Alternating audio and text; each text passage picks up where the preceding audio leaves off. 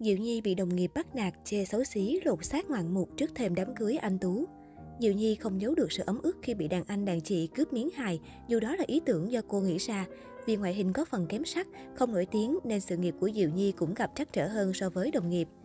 Sau 7 năm hẹn hò bí mật, ngày 10 tháng 10 sắp đến, lễ cưới của diễn viên hài Diệu Nhi và bạn trai anh Tú sẽ chính thức diễn ra tại một khu resort sang trọng ở Phan Thiết, quê cô dâu. Trước đó vào năm 2021, diễn viên phim Gái già lắm chiêu lộ thông tin đã sinh con đầu lòng. Tuy nhiên cô nàng từ chối trả lời truyền thông. Xuất thân từ trường cao đẳng sân khấu điện ảnh thành phố Hồ Chí Minh, vì vậy Diệu Nhi có nền tảng chuyên môn khá tốt. Ngoài đóng phim sitcom và điện ảnh, Diệu Nhi còn hoạt động năng nổ tại sân khấu kịch thế giới trẻ. Tuy nhiên, trước khi chạm tay đến thành công, thời mới ra trường, Diệu Nhi nghĩ đơn giản, năng lực mới là điều quan trọng nên không trau chuốt ngoại hình. Tại các buổi casting, cô lọt thỏm giữa đám đông vì làn da đen nhẽm, gương mặt kém điểm nhấn. Không có ngoại hình và mối quan hệ, đồng nghiệp công khai chơi xấu cô bằng việc cướp thoại. Chính vì những nguyên nhân này mà Diệu Nhi không thể bước ra khỏi vùng an toàn. Chia sẻ với truyền thông, Diệu Nhi nói, tôi từng thiệt thòi khi công sức chất xám mình bỏ ra không được công nhận. Chẳng hạn trên sân khấu kịch, không ít lần tôi bị dành những mảng miếng lời thoại gây cười do mình nghĩ ra. Nhiều lần như vậy tôi chỉ biết im lặng vì người ta là đàn anh đàn chị của mình. Đến khi không nhìn nổi nữa, tôi kể cho chị Thu Trang anh tiếng ngược nghe. Chị bảo tôi phải góp ý thẳng thắn, mình không bắt nạt ai, nhưng người sai là họ thì không việc gì mình phải sợ. Tôi làm theo lời chị và cuối cùng may mắn mọi việc đều êm thấm được khán giả chú ý qua series sitcom Chiến dịch chống ế 123. Tận dụng thời cơ, Diệu Nhi ghi danh vào thị trường điện ảnh với điệp vụ chân dài, gái già lắm chiêu.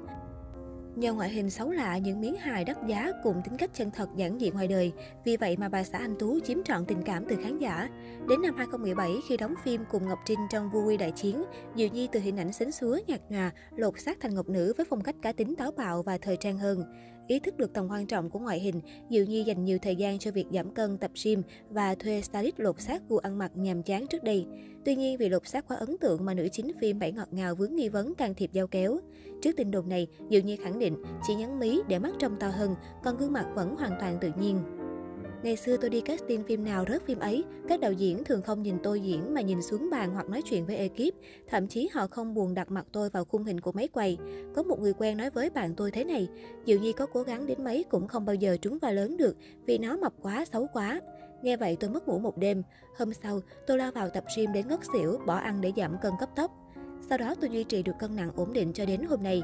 Ngoài ra tôi đi spa định kỳ dưỡng trắng da bằng các loại mỹ phẩm nhằm giúp ngoại hình tôi trắng trẻo dễ nhìn hơn. Tóm lại vẫn phải có tiền mới đẹp mới tự tin được. Ngoài đời tư sạch scandal và chăm chỉ hoạt động nghệ thuật, một trong những điều làm khán giả yêu thích Diệu Nhi đó là không mượn tình cảm để PR. Khi xuất hiện trên sóng truyền hình, cô đều dặn MC tránh hỏi những câu liên quan đến đời tư, không muốn điều này lấn át sự nghiệp cả hai. Dù vậy, Diệu Nhi vẫn có cách khẳng định chủ quyền như hạn chế tiếp xúc gần với bạn diễn nam, mặc đồ đôi cùng anh Tú. Diệu Nhi và anh Tú cùng là diễn viên tại sân khấu kịch Thế giới trẻ. Từ quan hệ đồng nghiệp, cả hai nảy sinh tình cảm, tìm hiểu nhau từ năm 2015 và công khai mối quan hệ yêu đương vào cuối năm 2016. Hai người mặc đồ đôi xuất hiện trên một chương trình truyền hình, chính thức xác nhận đã hẹn hò hơn một năm. Diệu Nhi còn công khai tỏ tình với anh Tú. Hôm nay nhân dịp 2 phút này, tôi muốn nói lời tỏ tình với anh Tú. Tú à, thực ra em rất xúc động khi quen anh. Gọi anh bằng anh thôi chứ anh nhỏ hơn em 2 tuổi. Em lớn tuổi rồi và cũng không có ngoại hình. Nên anh quen em. Ngoài tuổi tác của em ra, anh đừng bàn tới. Em sẽ lo cho anh đầy đủ. Năm nay điện thoại nào mới ra em sẽ mua cho anh. Năm sau anh muốn có xe hơi em cố gắng làm để mua cho anh.